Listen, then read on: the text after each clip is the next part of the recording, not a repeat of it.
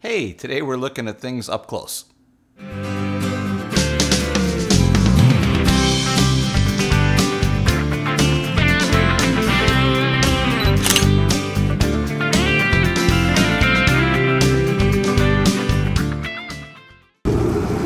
Hi, welcome to Snapshot, the show that's all about taking better photos, taking better video. I'm your host, Denis Rule, and in this episode, I've got a great tutorial for you to help you get started in micro photography or macro, depending on the brand of cameras that you're using. Uh, one manufacturer calls it micro, the other one calls it macro. They're really the same thing. Uh, we also have a review on a super telephoto lens. So we're going to the other end of the extreme. This is a 150 to 600 millimeter lens. You'll want to check out some of the high res photos that I have to show you. And um, I really enjoyed working with this lens, so I hope you enjoy the review. So sit back, relax, check it out. Hey, don't forget to subscribe to the channel. That way you'll get a notification every time we put out a new video. So let's check out the tutorial.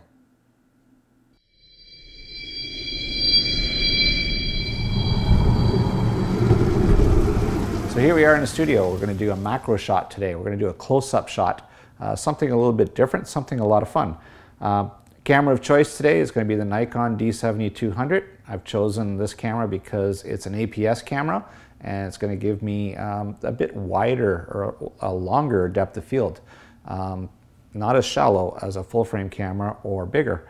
So the smaller your sensor, uh, the more depth of field you have. It's just one of those things. Um, going to use a 60 millimeter uh, macro lens. Uh, this is the older model. It's not the latest model, but hey, it's still working great. Uh, it's f2.8 and uh, works fantastic. I love this lens. So we're going to use that. I've got my camera mounted on a tripod because when we're doing macro photography, um, you know, you want to try and hold your focus. You don't want to be moving in and out. It, uh, just a tiny little movement is huge. So you don't want the camera to go out of focus. Using a tripod helps a lot. Um, camera settings, it's going to be in the manual mode, and or sorry, it's going to be in the aperture priority mode. And I'm going to choose f16, and I've already dialed it in to ISO 800, so the camera can uh, do the work for itself. Uh, very clean camera, very clean pixels, so at ISO 800, I'm not worried about noise at all. Okay, here's the subject of today's photography. It's coloring pencils. I stopped at the dollar store, got these, and uh, it's, it's, a really easy shot. I've done a couple of things. First off, I've taken all of the gold marks and I've put them underneath because I don't want the light reflecting on those. That makes for a cleaner shot. I've mounted them in here in uh, what's called a magic clamp. And uh, these are really cool because uh, it's just a clamp. You can use it for product. You can use it to hold reflectors. You can use it to hold backgrounds. Uh, it's very, very neat. And um, it's adjustable, okay? So I can move that one back and forth this way. I put it onto a second uh, clamp here. Um, actually, it's an umbrella holder. So now that uh, with the spigot, I can move that this way and I can move them any which way I want so I can orient the, uh, the pencils and the light and get my shot. So basically we're going to put those with the, uh, with the gray background and we're going to need to light it up. So I'm going to use the Luma light from Aurora Lite Bank. This is a battery powered LED light. Now these are pretty cool. You may not know it, but we use these in the studio all the time. We've got them for doing all of our video shoots and I'm using them constantly to do products. So it's got a battery pack. This is a 10 amp hour battery pack. Uh, this is an LED light and LEDs work a little bit different than tungsten lighting, but we're all used to tungsten lighting. So in tungsten lighting, this would be a 1000 watt light. In LED terms, it's a 100 watt light, uh, almost a 10 times to 1 ratio. Um, at the back here, we've got a power button, we've got our intensity dial, and we've got uh, some LEDs that tell us the battery condition. And while we're speaking of the battery condition, at full power, this battery will power this light for 80 minutes, roughly, give or take, depending on the temperature. Um, but to be honest with you, I never run it at that power. I'm always between one quarter and one third. And at those power levels, I can run this all day, eight hours in the studio, not a problem. Um, another cool thing about, uh, well, there's a couple of cool things about LED lights. First of all, um, they're cool. Uh, there's no um, heat or very little. I mean, you can hold your hand on there all day long, you're not going to burn yourself. And if you were a user of tungsten lights, you know that after about 25 hours, they start to lose their color or they burn out. And with LEDs, that's not the case. These are um, 55K balanced and they're 95 CRI. Uh, we're going to get into CRI in a second, but um, the 55K is the fact that it's daylight balanced, so it's the same as looking at daylight. Um, CRI, to make it easy for you to understand, uh, here's an example. You'll take a print and you're going to go out to the window or you're going to step outside so that you can see the color 100% so you know that the colors are right. When you look at it under the fluorescent light or under uh, a cheap ceiling light, you're looking at it and you don't know if you got your color bang on. You take it outside and then you know. This is that case where the 95 CRI, it's the color rendering index. It's the amount of color that you can see the spectrum of the light and it's an easy way to measure it. A really cheap light, LED light, will have 87 CRI. And the difference between 87 and CRI and 95 CRI is, is miles, miles and miles apart. It's uh, exponential. There's all kinds of uh, information that you can find on the internet. I'm not going to make it an entire video on CRI, but just know that the higher the number, uh, the more render, the more color rendering you're going to get. All right, we take this off. This is a bowl reflector. You can see that the panel here is flat. And I'm going to turn it on facing this way. This thing's awfully bright. I don't want to face it right into the lens of the camera here, but you can see that it's very bright, it's very white, and it's actually, if I can dim this right down, right down to, to where we can start seeing it in the camera. I'm watching the monitor at the same time. All right, you can see that there's no hot spot in here. It's, it's fully well illuminated, it's homogeneous. Um, so with having this little um, diffuser right in front, it makes your light very, very even to start with. All right, the bowl reflector. You'll notice that there's a uh, three knobs on it. Um, this is a bayonet mount, or S bayonet mount. Uh, same thing, people call it the Bowens mount. Um, so you can mount almost anything on this head.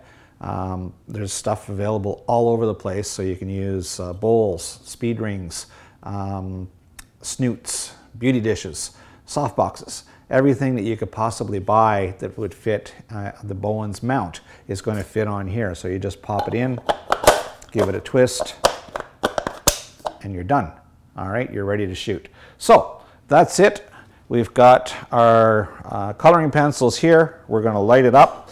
So bear with me. We're going to turn off the lights in the studio and um, we'll get right to it because I don't want any lights on here at all.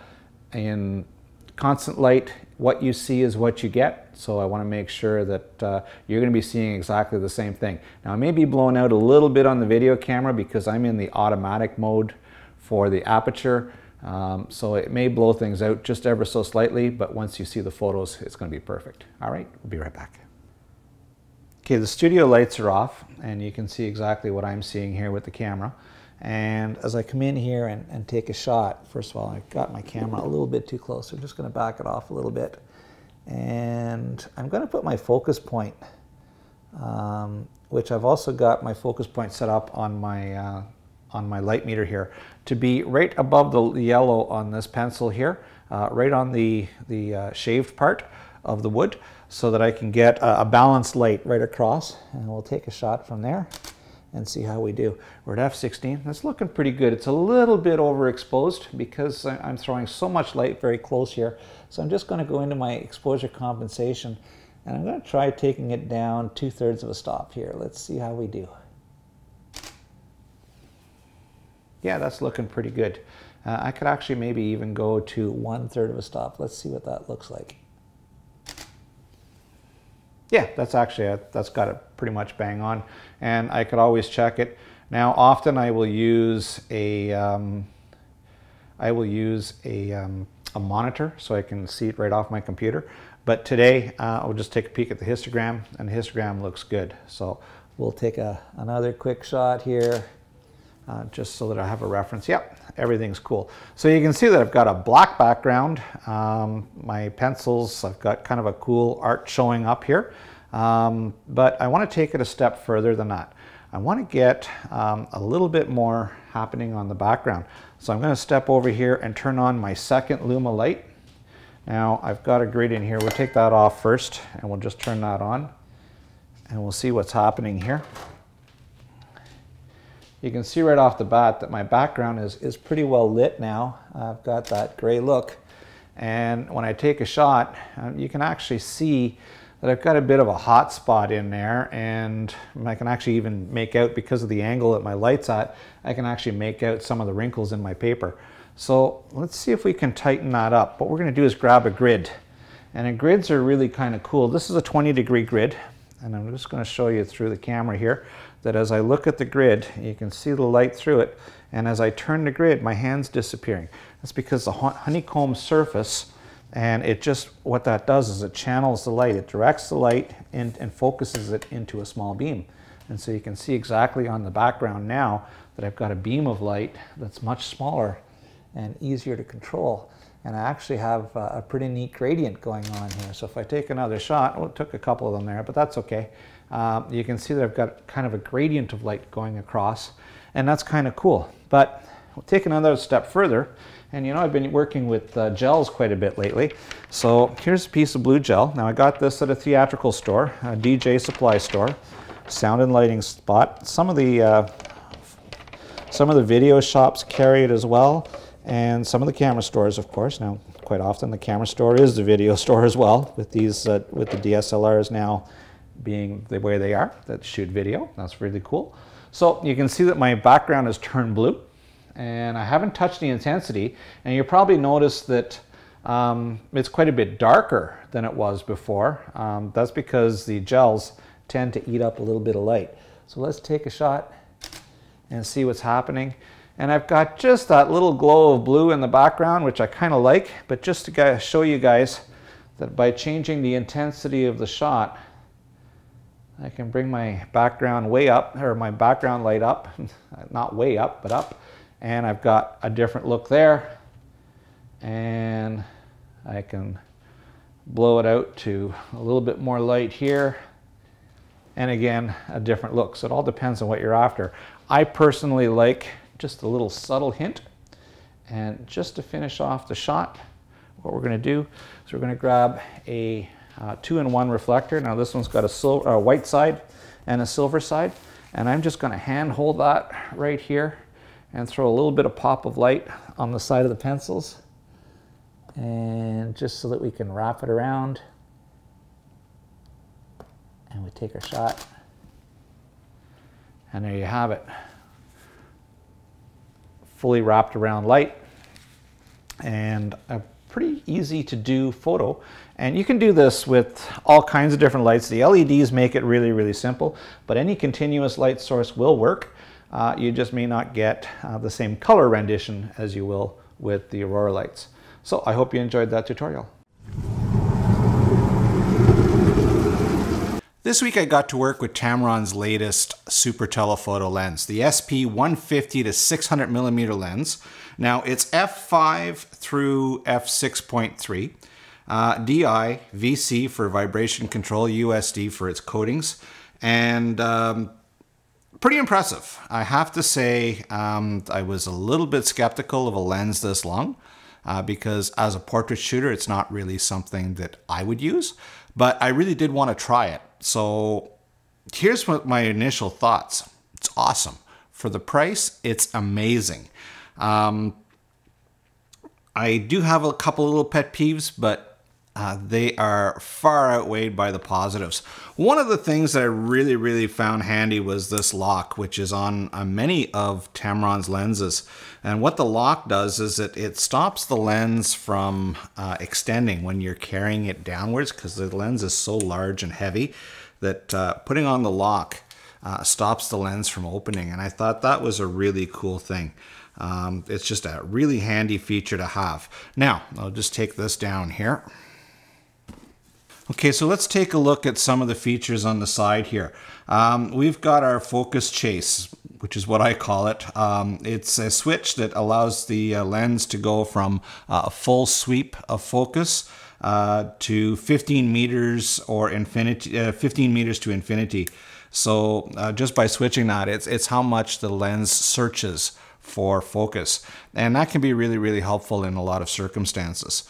Uh, next, you have your manual focus, automatic focus, and uh, lastly on the bottom, your uh, vibration control to turn it on or turn it off. If you're working on a tripod, there's no need to have vibration control. It also slows down your autofocus or your your your um, shutter speed, not the shutter speed of the camera, but the speed at which the cam the uh, lens locks on and allows you to take a photo. Um, so if you're looking for a faster response, you'll need to turn that off. But it's a big lens, so you better be uh, shooting at a high shutter speed, and you know definitely on a on a tripod is uh, is almost a must if you're going to turn off the vibration control.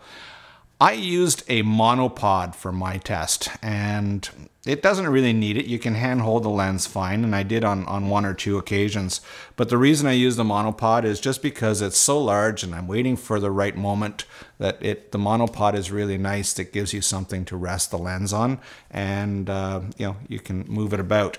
Now Here's one of my pet peeves. Actually, it's not really a 100% pet peeve, but uh, on here there is a lock for the ring. So you can go from portrait mode to, um, uh, sorry, from portrait mode to landscape mode. And uh, I just found that this thing here, it, it's, it's clunky. Um, it, it, doesn't have, I thought maybe it was a locking section, but it's just clunky. It just doesn't feel nice. And when you're moving it, um, if you've got a little bit of tension on here, I found that it, it bound on me a few times uh, when I was moving it around. So that's my only real uh, thing that I, I just didn't like. Actually, there was one other that I found a little bit, um, a little bit unnerving, and that's the fact that the, um, that the lens uh, locking ring to the camera I thought was just a little bit loose. Now, a lot of them have some play, but this being such a big lens that it's just amplified. Now I'm sure it's fine. The lens has been around. Photo-wise, it's it's ex excellent. Um, I pushed the lens to its limit. Uh, went one day to the airport. Let's pop some photos up on that. And I went another day just to a local park. And um, the second, on my return from the local park, um, I stopped in an industrial area just to see if I could get some long distance, uh, just change the aperture and you'll see that the, um, the settings are, are displayed on the photos there. Other thoughts, the lens hood, uh, very, very handy. It comes with it. Um, it's, it's fine. It works fine. It, it snaps in place. Very, very easy to line up. There's a set of dots that you just line up with the dots that are on top of the lens. So that was easy. Um, the lens cap or the filter size on this one here, 95 millimeter. Uh, so you're going to uh, have to uh, put a little bit of investment in a feet in in a filter in order to protect the lens. But um, other than that, I think this is an amazing lens for the price.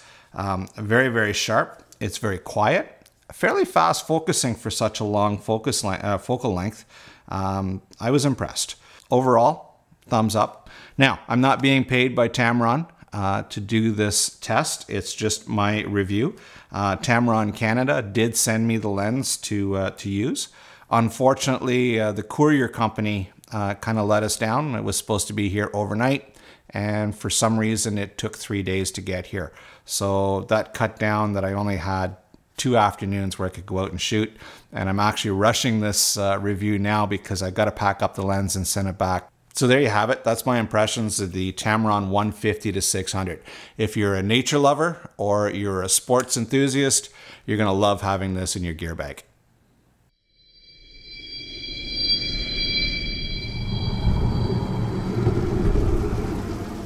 Hey, well, that's our show for today. I hope you enjoyed watching it as much as we enjoyed putting it together for you. Don't forget to check us out on Facebook and don't forget about our website, snapshotshow.com. You'll find the high res photos that we have in this episode in the photo gallery there, so you can go and take a look at them up close and, and kind of scrutinize them a little bit higher res than you see on YouTube. So, with that, don't forget to get out there and shoot lots. Pixels are free, and we'll catch you on the next one. Bye for now.